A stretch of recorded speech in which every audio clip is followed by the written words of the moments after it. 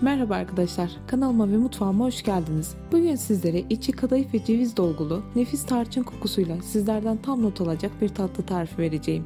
Telli baba tatlısı. Şerbetli tatlı severler için nefis ve çok farklı bir tarif. Daha fazla beklemeden geçelim tarifime. İlk olarak şerbetini hazırlayalım. Uygun bir tencereye 2,5 su bardağı toz şeker ve 3 su bardağı suyu alalım. Karıştıralım. Ocakta kaynamaya bırakalım.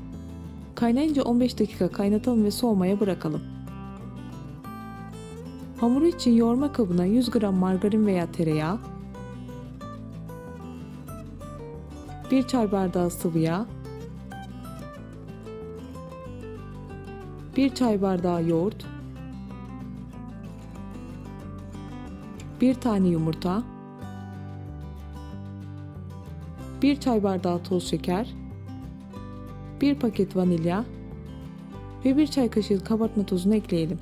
Elimizde şöyle bir karıştıralım.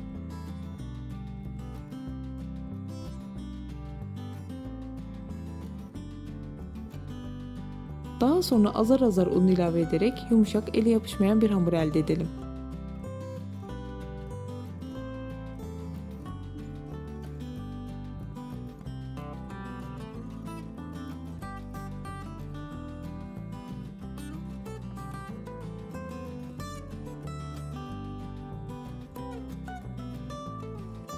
Evet arkadaşlar, hamurumuz da hazır.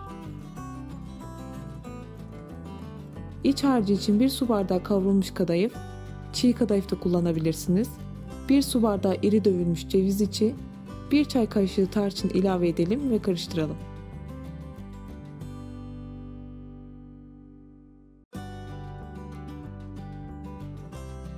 Evet arkadaşlar, iç harcımız da hazır.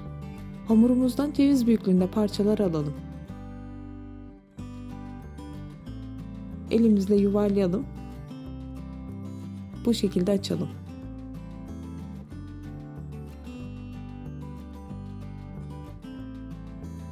İçerisine kadayıflı harcımızdan koyalım ve ağız kısmını kapatarak elimizle yuvarlayalım.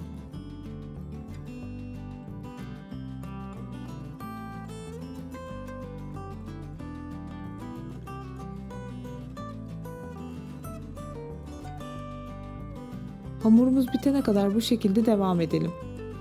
Evet arkadaşlar, tatlılarımızı hazırladık. Önceden ısıttığımız 180 derecelik fırında kontrollü pişirelim.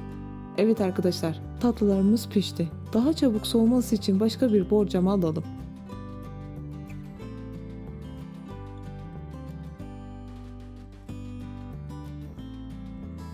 Oda ısısına gelen tatlılarımızın üzerine soğumuş olan şerbetimizi gezdirelim. 1 saat dinlendirelim.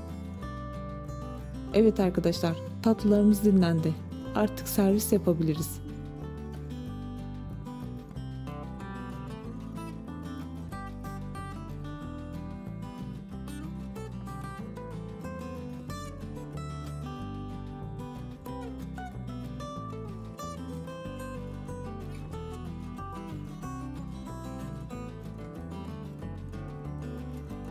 Üzerini istediğiniz gibi süsleyebilirsiniz.